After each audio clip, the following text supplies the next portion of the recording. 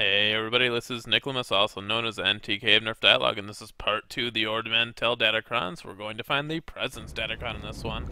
Uh, if you take a look at the map there, see where I'm standing, make your way there, and I'll show you the path on where to find this one.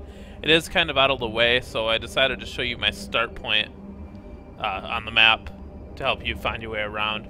It's kind of be hidden behind a hill up here. I mean, basically you make your way around, and then right up over this hill, behind that rock, you're going to see the Presence Datacron. As always, if you're having any issues finding this Datacron, go ahead and uh, leave a comment. I'll answer any questions you have as best I can, and we'll make sure you get it.